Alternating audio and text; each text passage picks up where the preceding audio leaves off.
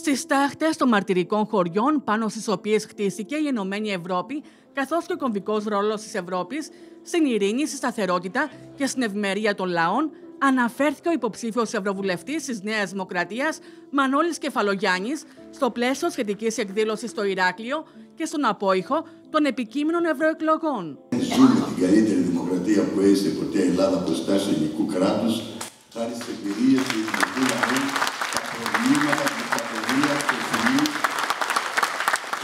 έχουμε συμφωνήσει τα μεγάλα που είναι ευρωπαϊκός προσανατολισμός, κοινοβουλευτική δημοκρατία, ελεύθερη οικονομία.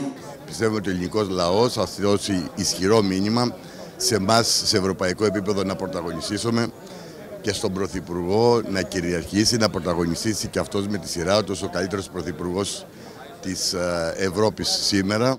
80 χρόνια ειρήνης κληροδότησαν στην Ελλάδα οι προγονείς μας, τόνισε ο Μανώλης Κεφαλογιάννης, σημειώνοντας ωστόσο ότι βρισκόμαστε σε σταυροδρόμι ιστορικών εξελίξεων, τονίζοντα την ανάγκη ενότητας και ισχυρής εντολής σε ευρωπαϊκό επίπεδο. Γιατί ζούμε στο σταυροδρόμι ιστορικών εξελίξεων.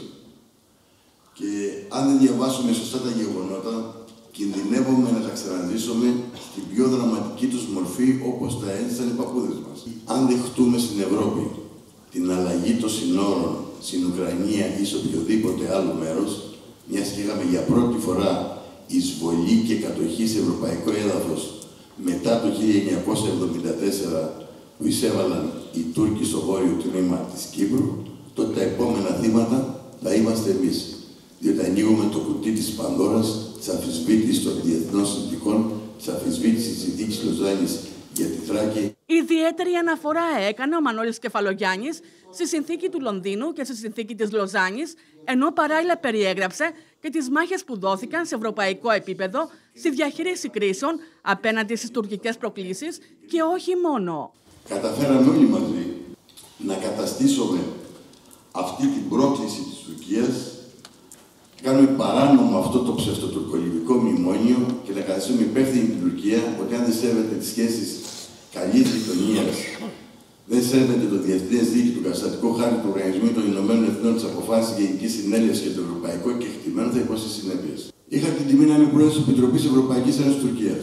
Προείδρευα 40 Τούρκων και Ευρωπαίων βουλευτών. Τι καταφέραμε να απελευθερώσουμε τους δύο έτσι αξιωματικούς που κρατούν στην Ανδριανούπολη.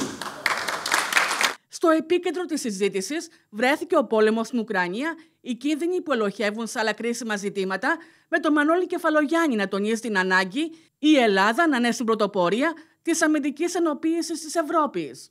Θέλουμε να έχουμε τη δύναμη να πρωταγωνιστήσουμε. Και μπορούμε να πρωταγωνιστήσουμε μόνο αν στα μεγάλα